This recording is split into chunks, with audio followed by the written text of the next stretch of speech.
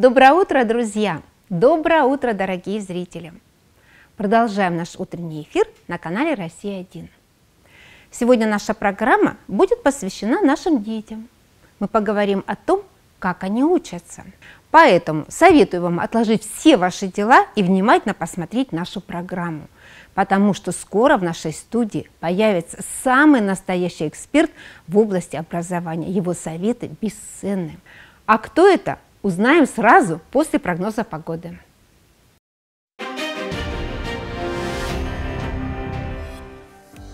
В Карачаево-Черкесии преимущественно без осадков. Ветер восточный 5-10 метров в секунду. Порывы до 11-14. Температура ночью 10-15, в горах до плюс 10, днем 26-31 градусов тепла и местами до плюс 24. Высокая пожароопасность. В Черкеске без существенных осадков ветер восточный 5-10 метров в секунду, порывы до 14.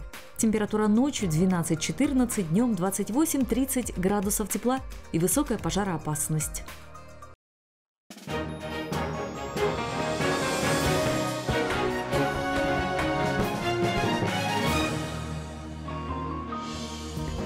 Как вы думаете, друзья, можем ли мы сделать так, чтобы наши дети с удовольствием ходили в школу и с таким же удовольствием учили уроки. Оказывается, очень даже можем. Как это сделать, знает герой нашего сюжета, который очень скоро появится в нашей студии. Как и все мальчишки, в детстве Заур Каркмазов мечтал стать летчиком, милиционером, переводчиком. Со временем приоритеты поменялись. Окончив школу, он поступил в Северо-Кавказскую гуманитарную академию на факультет прикладной математики и информатики. Предметы сложные, но очень интересные, уверен Каркмазов. СН будет равно b1 умножить на q в степени n минус 1. Все это деленное на q минус 1. Окончив вуз, Карпмазов поступил в аспирантуру, но уже на новую специальность – кафедру общей истории и философии. Вот тогда-то он впервые попробовал себя в роли учителя. Аспирантам полагались э, часы, э, практические часы. То есть ты помогаешь преподавателю вести урок, ты являешься его ассистентом. И будучи ассистентом, я сидел на занятии, на парах, на лекциях, и мне понравилось вести беседы со студентами на те или иные темы, э, узнавать об их мировоззрении. И вот, э, начиная с того момента, я уже подумал, хорошо было бы стать преподавателем, потому что каждый день ты узнаешь что-то новое. Заур преподавал в колледжах Черкеска. Работать со студентами ему нравилось. Четыре года назад Картмасова пригласили в качестве учителя математики в пятую школу Уджигуты. Математика – наука сложная и серьезная. Тут нужны точность и логическое мышление. Перед педагогом стала серьезная задача. Как увлечь современных школьников, интересы которых от математики ух как далеки. Записи под диктовку или списывание с учебника не для современных учеников. Нужно искать новые подходы. Заур Карпмазов проблему решил. Когда за дело берется преподаватель с новыми интересными идеями, даже урок математики может стать очень интересным. Да и вообще, если математика – часть нашей жизни, бояться ее точно не стоит. Начнем нашу тему с небольшой исторической справки. Индийский принц пообещал изобретателю шахмат в награду за его изобретение любую награду, э, все что угодно. И изобретатель шахмат сказал, можно ли мне дать столько зерна, сколько уместится на шахматной доске, если поставить на первую клетку одно зерно, на вторую клетку в два раза больше, на третью клетку еще в два раза больше и так далее заполнить всю доску. Разумеется, Раджа подумал, что это очень просто и э, там не выйдет очень много зерен. Но когда начались подсчеты, оказалось, что зерен оказалось огромное количество. Как видите, эта цифра у нас 18 квинтиллионов, 446 квадриллионов, 744 триллиона, 73 биллиона, 709 миллионов 551 тысяча 615 зерен. То есть такое количество зерен, которое человечество не произвело, начиная со своего основания. Конечно же, э, Раджа опростоволосился, а изобретатель шахмат оказался в очередной раз провидцем, и он э, превзошел самого Раджу в математике. Вот. С этой темы мы начинаем нашу геометрическую прогрессию. Таких фишек у преподавателя немало. Они помогают во время урока сконцентрировать внимание на сложной теме, по-новому посмотреть на предмет. Я стараюсь мотивировать их. У меня есть несколько способов мотивации. Вот.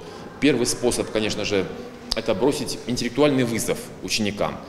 А, они очень хорошо воспринимают такие вызовы. Ты даешь им задание, а, посильное, конечно же, посильное, чтобы они могли с ним справиться, но они собираются с мыслями, начинают решать. Когда просто слушаешь и записываешь, это меньше запоминается. А вот когда ты сам пришел к логическому выводу, материал усваивается намного лучше, считает преподаватель Каркмазов. Верно, где ты взяла троечку? Скажи мне, пожалуйста. Троечка – это наша Q, то есть Ага, знаменатель. Разница между замечательно. ними. Так, молодец. Таким да. образом мы найдем B первое. Ты нашла бы первое, дальше нужно найти сумму Семи. семи членов. Ну давай. Формула у тебя есть, остается подставить, да, просто и все. Так, замечательно. Синус, косинус, тангенс, котангенс для учеников пятой школы Уджигуты не просто математические символы. У Заура Каркмазова все разложено по полочкам, четко и понятно. Детям на таких уроках интересно. Заур Стелевич учитель, который объясняет сложное простым языком. Его можно понять просто с двух слов. То есть, объяснив какую-то сложную тему, любой ученик может понять это практически сразу. Также Заур Стелевич простой человек. То есть, он не выстраивает из себя какого-то самого сильного педагога. Он обычный человек, который показывает, на что он способен. А я думаю, то, что очень хорошо, что такой педагог, как Заур Сталич, работает в нашей школе.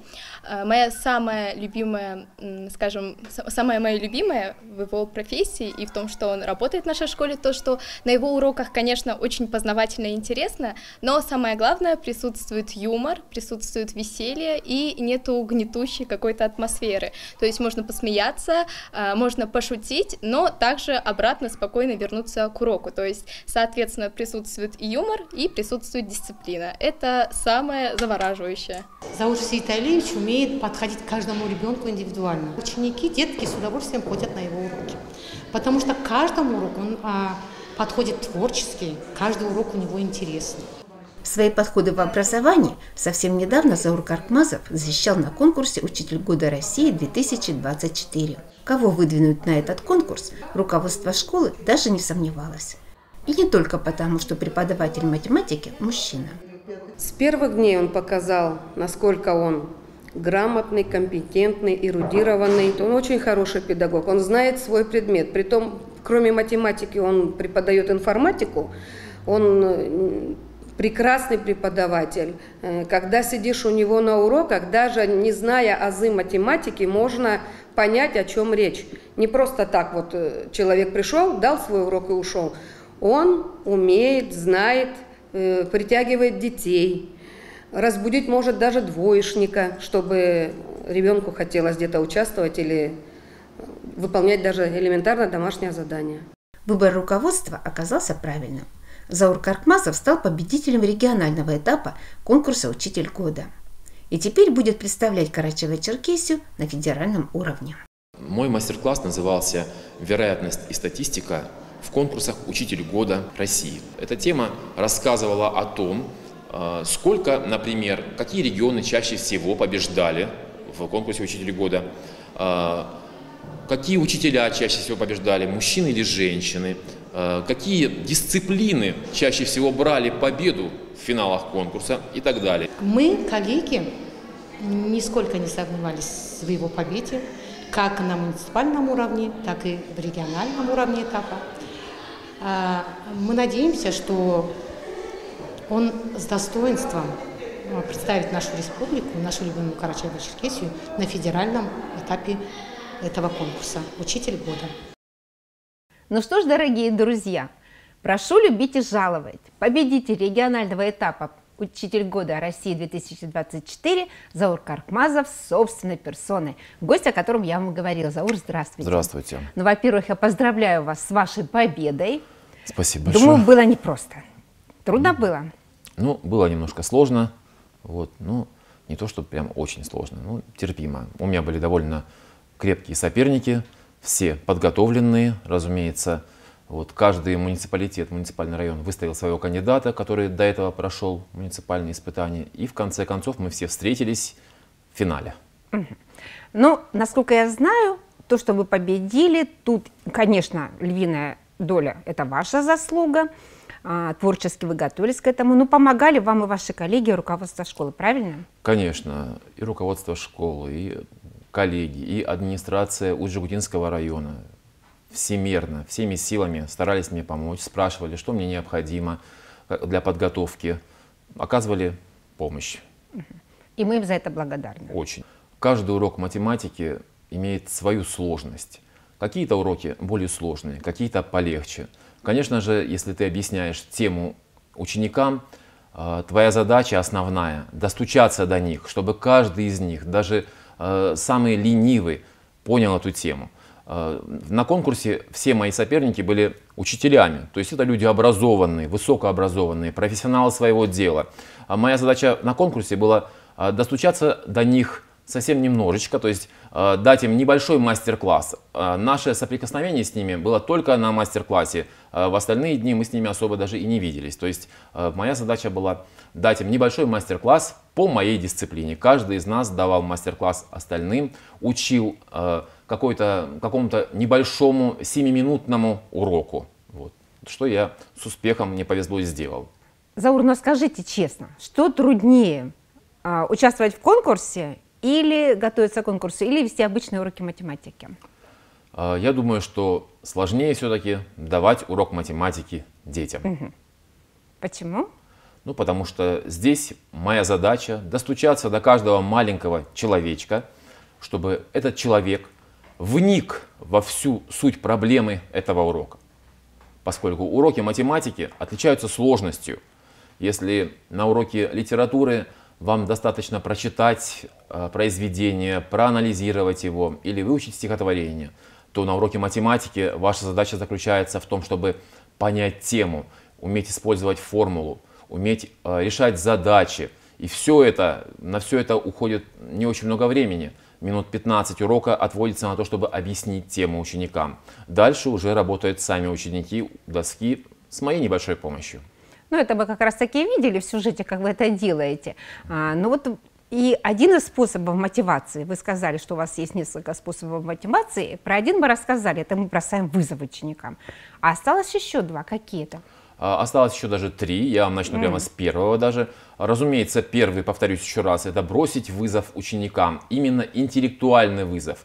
Каждый человек любит решать задачи которые кажутся непосильными. Угу. Именно в этом и заключается интеллектуальный вызов. Разумеется, я даю им задачу посильную, чтобы они справились с ней, но чтобы они затратили на нее усилия. Самое главное, умственные свои усилия. Э, приложили все свои знания к решению этой задачи. А, также можно показать ученикам, это второй способ, математические фокусы. Mm. То есть какие-то фокусы, которые на первый взгляд противоречат здравому смыслу. Вот. И ученики Э, сначала сомневаются в этом, думая, что этого не может быть, но затем, увидев на практике, что это происходит, конечно же, они рады, вот, это также их немного мотивирует. А что это за, за фокусы? Ну, Вы что, как фокусник на уроке показываете? Что это ли? фокусы с цифрами, то есть можно э, что-то посчитать, можно например, угадать по некоторым цифрам дату рождения ученика там, или человека, даже не зная и так далее. Но если будет свободное время, я покажу вам обязательно. А, также, конечно же, мотивирующим является то, чтобы показать ученику практическую задачу для применения того или иного урока, той или иной темы. Например, геометрия чаще всего подходит для этого. Геометрия, разумеется, у каждого из нас встречается э, в жизни, поэтому можно применить задачки. Ну и четвертый способ мотивации – это рассказать какую-нибудь историческую математическую задачку – ну, вот видите, Заур, вы учились в институте, наверняка изучали педагогику, психологию, у вас есть опыт преподавания. Я бы хотела попросить вашего совета. А что делать нам, родителям, чтобы наши дети с удовольствием ходили в школу? Ведь вы знаете, что, наверное, и видели, что пусть не все ученики, но какая-то часть из них, вот учителя жалуются, не хотят учиться, у них нет интереса. Они предпочитают посидеть в телефоне, переписывать, все что угодно, но только не уроки. Как нам, родителям, мотивировать детей ходить в школу? Э, мотивация родителей для того, чтобы их дети ходили в школу, прежде всего, заключается в том, чтобы э, они объяснили детям, что э, их будущая профессия, какая бы она ни была, связана со школой. То есть необходимо получить начальное школьное образование, среднее школьное образование. И только после этого они смогут поступить в тот или иной вуз или среднее учебное заведение. Конечно же, не всем нравится учиться в школе, особенно сейчас, когда такое огромное количество развлечений, таких как телефоны, планшеты, прочие гаджеты.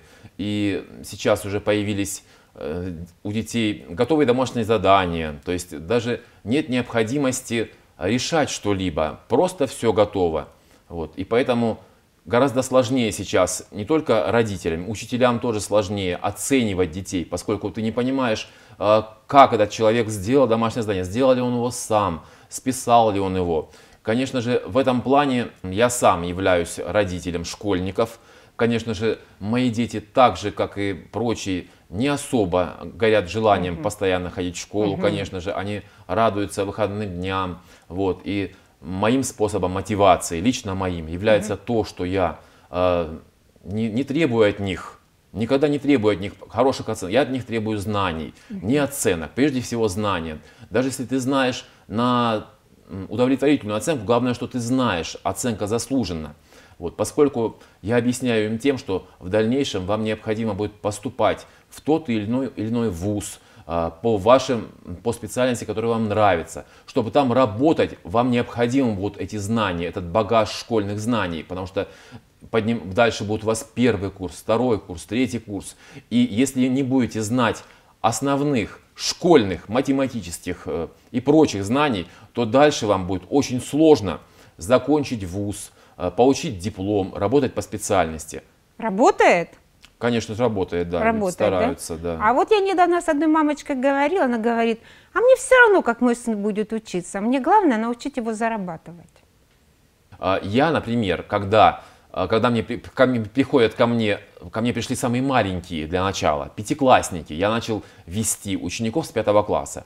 И когда меня спросили а, ученики пятого класса, а зачем нам математика? Я сказал, ну хотя бы для того, чтобы тебя не обсчитали в магазине, то есть ты должен уметь считать правильно. Ты пойдешь туда с какой-то суммой. Мама тебя попросит купить то, это, пятое, десятое. Тебя могут обсчитать. А тут ты будешь прекрасно считать, получишь верную сдачу и придешь домой. Хотя бы это, это необходимый минимум для того, чтобы изучать математику. А дальше, конечно же, больше уже. Скажите, пожалуйста, а вот вы со своей стороны, работая в школе, каждый день общаясь с учениками, что вы нам посоветуете, посоветуете вот родителям, что сделать для того, чтобы ребенок успешно сдал экзамены? Что нам нужно?